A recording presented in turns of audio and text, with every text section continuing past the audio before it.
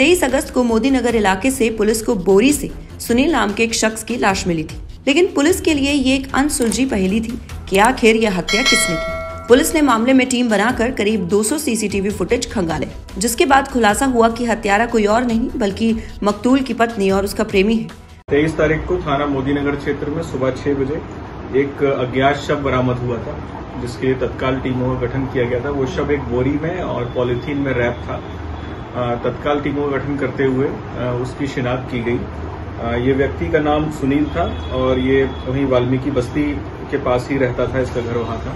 Police ने मामले का खुलासा करते हुए बताया कि सुनील की पत्नी के साथ रवि नाम के युवक का पिछले 10 सालों से अवैध संबंध था।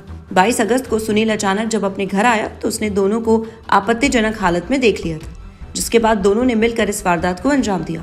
और पति के सिर पर डंडा मारकर उसकी हत्या कर दी, जिसके बाद महिला का प्रेमी बोरे में लाश लेकर साइकिल से निकल गया, जो कि सीसीटीवी में कैद हो गया। तब ये ज्ञात हुआ कि रवि जो है, इसके मृतक की पत्नी से संबंध थे, जिसके कारण से जब उसको पता चल गया था मृतक को इन संबंधों के बारे में तो रवि और उसकी पत्नी के द्वारा, मृतक की पत्नी के द्वारा मृतक की हत्या कर दी गई।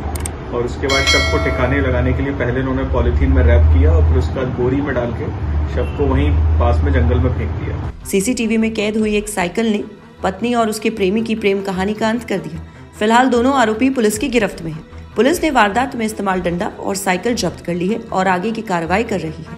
Bureau report Navdeep today. खबरों की डोज नवदीप टुडे पर हर रोज।